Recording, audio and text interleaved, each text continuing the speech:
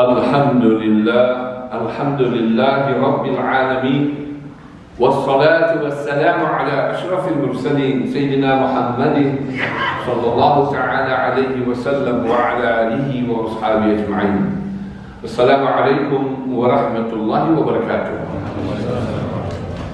In Surah Al Imran, Allah speaks about the muttaqeen, those who have true consciousness of Him, the people who truly believe in Him, the people who do good by Him.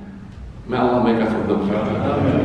And what does He say? بعد أعوذ بالله من الشيطان الرجيم بسم الله الرحمن الرحيم وسارعوا إلى مغفرة من ربكم and rush to the forgiveness of your Rabb وجنة عرضها السماوات والأرض and rush to a garden whose width is greater than the heavens and the earth أعدت للمتقين It has been prepared for those who are conscious of Allah.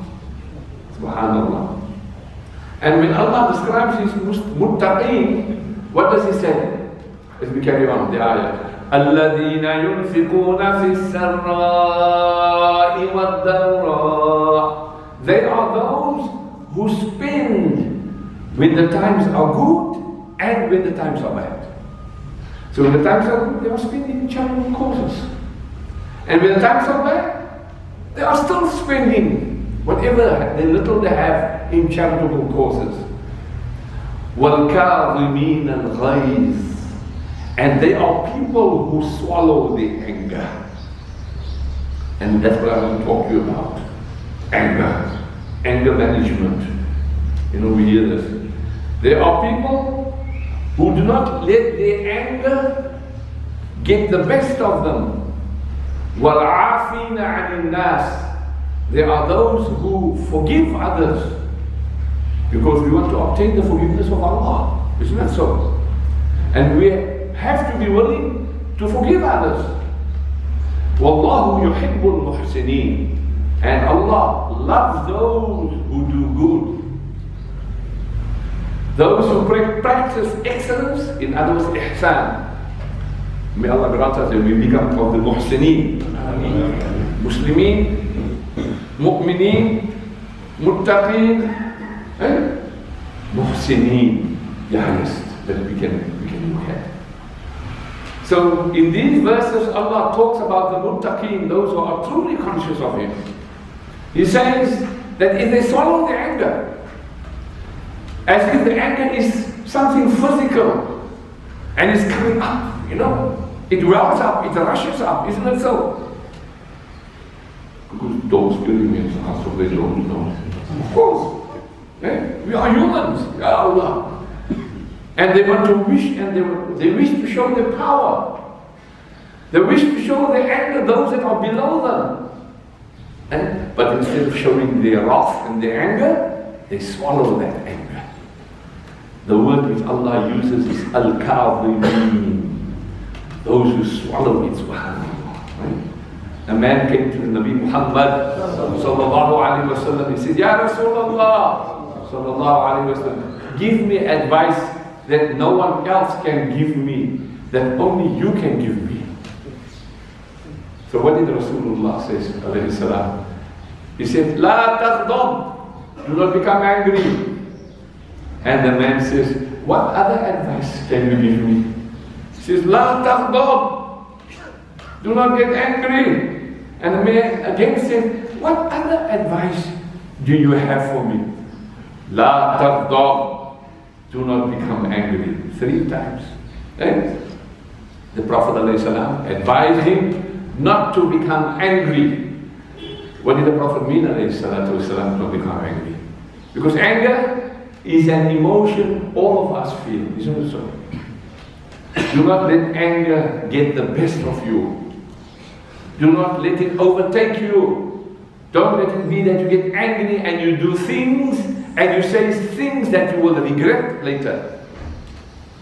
Don't let it make you lose control of your own body and your own time and your own mind How many times have we not seen that relationships between husband and wife and family members and good friends and community members have been destroyed because of the ego, over the arrogance, over not being able to control the anger. We that. How many of us can say we got angry and we said a few words and later on we regretted those words? We regretted ever saying those words. Because once those words leave our mouth, very difficult to take it back. Right? Because as soon as you've spoken to them, they are gone. You no longer have control. That's why the Prophet ﷺ said, La. Do not become angry. The anger the Prophet talks about when he says, La taghdab. That anger is the anger that we express and we see on a daily basis. You know, today we get angry over the smallest of things. Yeah? The person in front, in front of me is driving, he's too slow, he's only driving 60. You know? The speed limit is 70 and he's going 60. He's going too slow and ek is no kwaad. I'm angry now. Actually, I don't have that problem. Because I drive 140. There's no cars in front of me. So, no anger, no problem. Of course, there's a lot of tickets. Or, I haven't eaten my third meal. Eh? And it's already 30 minutes late. Waar die vrouw? And when you get it, there's too much salt in there. And this complaint and that complaint. We call this attitude first world problems. Really? It's first world problems, isn't it? These are all the issues that we see in the first world. Go to the third world. They don't have that problem because they don't even have their first meal, never mind their third meal. Isn't that? So they don't have that anger problems about it. Because may Allah relieve their issues, Ya Allah. Relieve their problems, Ya Allah. Right? So Allah has given us the luxury and so much blessings and ni'mah that we have the ability to get angry over such petty things and small things. Someone said, great minds discuss ideas. Average minds discuss events. And small minds discuss people. Isn't it so? Some small minds are always obsessed over people. Who has said what? Who has done that? Right? Who married who? Whose relationship didn't work out? Who's been in the news? All this, the small people discuss these kind of things. Average minds, they discuss, I bought this new car, I bought this new house, this new iPhone, this iPad. You know, these are now the average minds. But the intelligent minds, they discuss ideas. What are we doing to our fellow human beings? to relieve their suffering, to uplift them.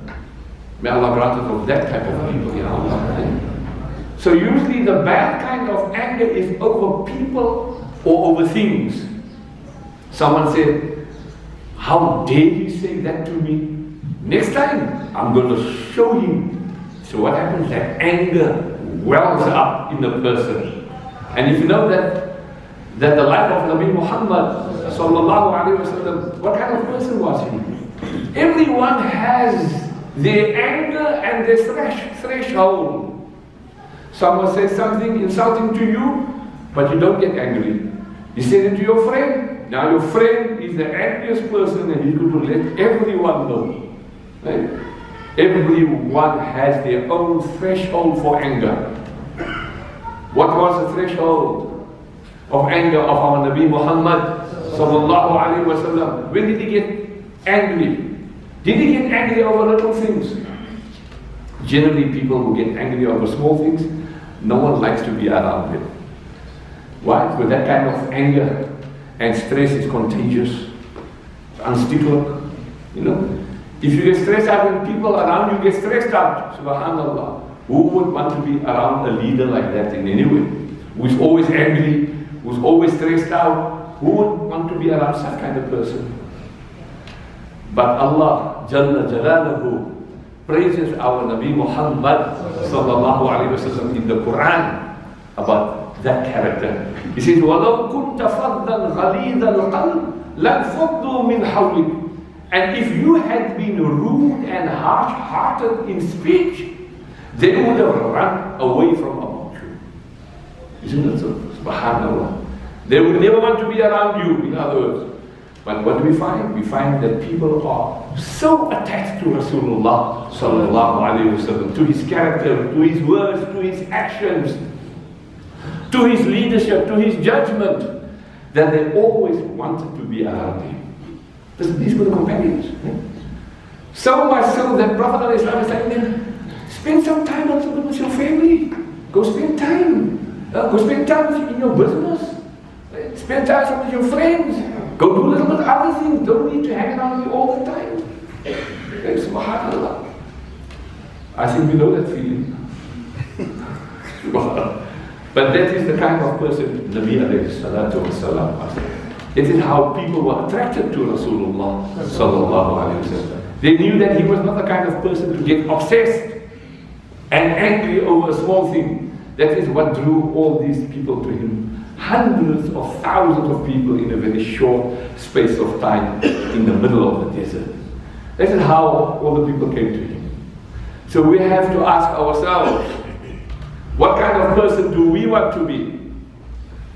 And there are excellent, amazing stories in the life of Rasulullah which shows us how he dealt with scenarios and how he dealt with anger. A normal person in that situation would be so angry and would use his power and control around him. But Nabi alayhi salam never did that, subhanallah. There was a Jewish person in Medina at the time of Rasulullah sallallahu alayhi wasallam, and this man read in his own book, the Torah, eh, about the final messenger was to come. And he read about the signs of the final messenger. And he wanted to see whether these signs, were apparent in Nabi Muhammad sallallahu alayhi wasallam. So this man went to Nabi alayhi salam one day while the Prophet was in a gathering with his companions and he says, Oh Muhammad sallallahu I would like to sell these goods. Do you want to purchase these goods? And Nabi alayhi said, Yes, I will buy from you. How much do you want it? For payment? And how do you want payment? And the man says, You can pay me in a few days, you can pay me even in a week. So this was the agreement, and there were witnesses around. But instead, the man comes a few days later. And again, the Prophet ﷺ was in with his companions. Now remember, the Prophet ﷺ is a governor of Medina at the time. Right? He is the most powerful man in Medina. Everyone looks up at him. He is the judge, he's the qadi, He's the governor, he's the mayor, he's everything, subhanAllah. Eh? And this man walks up to Nabi salam and grabs him by the shirt. Rough and. And he says, Muhammad, sallallahu alayhi wasallam, give me my right. So this man has done many things wrong. He broke the agreement himself by coming before the time. And he's been rough and tumble with our Nabi alayhi salatu wasalam. Eh? Second of all, he's interrupting a gathering with Rasulullah sallallahu Thirdly, he's becoming aggressive. Eh? And he's grabbing Nabi Islam by the garment.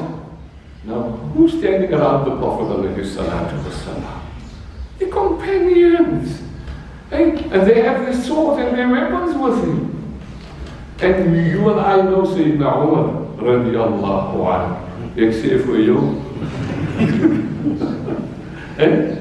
So when he said, Ya Rasulullah, says Sayyidina Umar, just give me the word, I will remove his head. The man probably got Jula, you know, diarrhea. you know, can you imagine if a person speaks to you like that? So what did the Prophet say? And did he become angry? He said, Umar, pay this man and give him his haq, his right and give him something extra because you scared him. and eh? th this is Rasulullah sallallahu alayhi wasallam. Remember, he was reading in the Torah the signs of the prophet that was supposed to come. And he saw that Nabi alayhi salatu wasalam. And in front of all he said, Ashhadu an la ilaha illallah wa ashhadu anna Muhammadan Rasulullah. This Jew accepted Islam in front of all. Why? Because of the mannerism how Nabi sallallahu alayhi wasallam portrayed himself. Subhanallah. This was the character of Rasulullah sallallahu He was calm and collective. Right? He's not let, letting anyone dictate to him how to live his life. Right? Subhanallah. He's not letting this person tell him what kind of ruler he must be or what kind of leader he has to be. No. That is what we see when he was asked in the gathering of the companions of Rasulullah. He says, Who is the, who is the Shadid? Right? Those days, the Shadid was somebody like a wrestler who could wrestle and throw, throw the person down on the ground. Right? So when the Prophet asked him who is Shadi, what was the reply? He says the one who, so the, the, uh, Prophet asked that question. So the Sahaba said the one who can overthrow the other one, the strong one. And the Prophet said, Laysa shadidu bisur'ah. The shadeed is not someone who can throw everyone else down and who can wrestle everyone else down. إنما الشديد الذي يملك نفسه عند الغضب. The shadid is the one who can control himself when he is angry. Subhanallah. So the question we have to ask ourselves, are we in control? Or is our anger in control of us? Sometimes anger is actually justified. Not over people, not over things, but over ideas, over principles and values. Yes. Someone is attacking your family, you have to defend yourself. You have to defend your family. You have to, somebody is attacking our deen, our religion. We have to defend it. Right? The Muslim is humble. He is not arrogant. But the Muslim is also not humiliated. You know, there's a saying, if you hit me on the one cheek, I give you the other cheek. Uh-uh. We don't give the other cheek. Give you the first. You defend yourself. So the Muslim doesn't withstand humiliation. But you don't get humiliated over small things. Someone insulted Nabi alayhi salam by grabbing his shirt.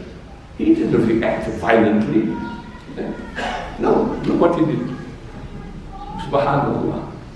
The Prophet ﷺ never got angry over himself, over what someone did to him. And a man came to Nabi alayhi salatu and held the sword to his neck. And the man said, Who will protect you now from me?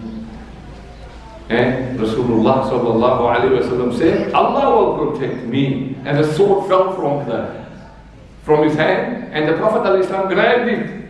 And he said, Who will protect you now from me? Subhanallah. Eh? Of course, he let the man go. He never got upset. Let him go. As someone said, when it is justified, when anger is justified, then it is only justified at the right time, at the right place, for the right reasons, and with the right intensity. And eh? to give you an example, you know, many years ago there was a movie insulting our Prophet sallallahu alaihi wasallam. Eh? We wouldn't go watch that film. But the problem is the Muslims gave it the greatest marketing campaign ever by by by overreacting. We have to have wisdom. So suddenly a billion people watched it. Only a couple of hundred were watching it. But because the way we were, we were overreacting, we should have been cool and calm about it. Subhanallah. Yes, we defend our principles, we defend our iman, but not in a way that is unwise. Right? So when we do get angry, the only reason we should get angry is for principle, for defending our iman or our faith, our religion with the right intensity and in a wise way. So I ask Allah Jalla Jalaluhu that He helps us to control our anger. Amen. To help us to swallow our anger, as I said from the start, wal-kadhimin. Eh? To help us to react in the best of ways that he does not make us reactive people.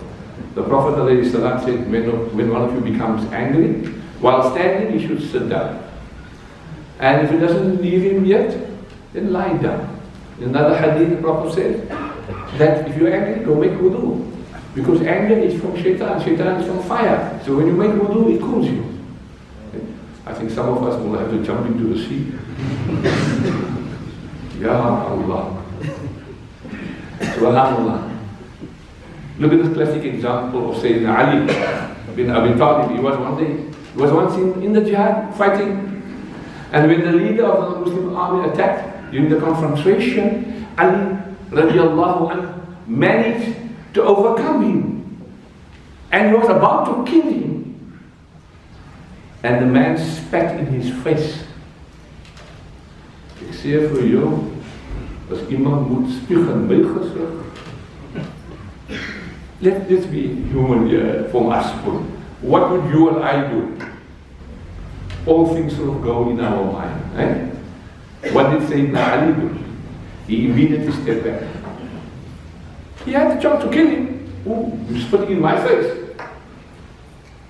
Or to cut his tongue in three pieces. No, he stepped back. And the man said, You could have killed me, why did you stop? And Sayyidina Ali answered, I have no personal animosity towards you. I was fighting, fighting you because of your disbelief and in rebellion against Allah. If I killed you after you spat in my face, it would, have been, it would have been because of my personal anger and desire for revenge, which I do not wish to take. This was the, the method of the Prophet and the Sahaba Ikram. When two people are angry, you know, I always say this at, at, at weddings. When two people are angry at each other, have you seen sometimes when a husband and wife scream at each other? And they shout. Is doof. Don't they say? You know why? Because their hearts are far apart.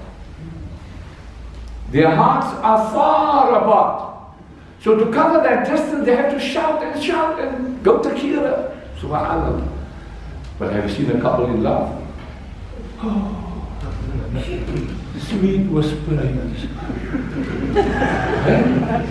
I love you, my sweetheart. मैं तुमसे प्यार करती हूँ You're always nice. There comes a time, I just say this in weddings.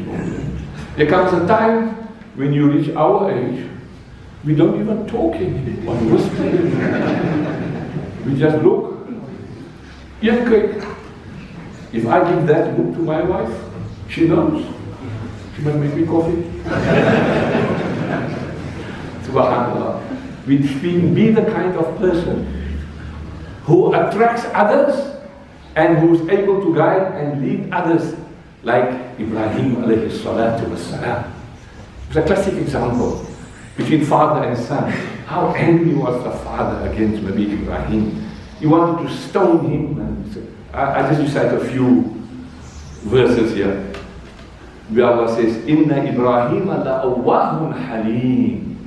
Verily Ibrahim alayhi salatu wasalam used to invoke Allah with humility, glorify Him, and remember Him much. And he was forbearing. Yeah? Subhanallah. Al-Awwa, according to the tafsir of Al-Qurtubi, has 15 different meanings. Uh, we've been taught Awwa is the plural of Ah. And Ah is the alif of Allah and the Ha of Allah brought together. Ah. ah, ah, ah, ah so those people who are in dhikr know what we are talking about. So Ibrahim alayhi salatu wasalam was always in a state of Allah, always in a state of ah, remembering Allah. May Allah grant us that, ya Allah. And he was patient with his father. Ibrahim was wise beyond his years. Yet his father did not listen to him because of extreme ignorance or arrogance. And his father threatened to stone him. But we noticed in the continuing ayahs that our Ibrahim salam did not lose his temper, but instead responded to his father's threatening attitude with respect and with wisdom. So, oh children, just because you got your big degrees and your father only passed matric or standard two, don't think your knowledge has surpassed your mom and your dad. You are what you are because of them. And don't you come and tell hey, what you are doing is shirk and it's haram and this is this and that is that. Cool down. Calm down because I'm getting these cases as well. I've even got cases where a child is smacking the parent, astaghfirullah. Ya Allah. Ya Allah. Can you imagine the smack you're going to get on their Yom al Allah protect our children, our grandchildren, Ya Allah. Be careful about arrogance because it comes through even through your, your, your ilm, like it happened to Shaitan. Isn't it so? So be careful. So look what Ibrahim says, alayhi salam. Ya abati, la ta'budu shaitan, inna shaitana kana lirrahmani asiyya. Oh father, do not worship Satan, for Shaitan is an rebel against the merciful. يا أبتي إني أخاف أن يمسك عذاب من الرحمن فتكون للشيطان وليا. Father, I fear that punishment of the merciful will fall upon you and you will become a guide for Shaitan.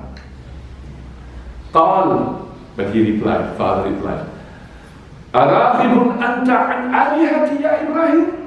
You see, do you shrink away from my gods, Ibrahim?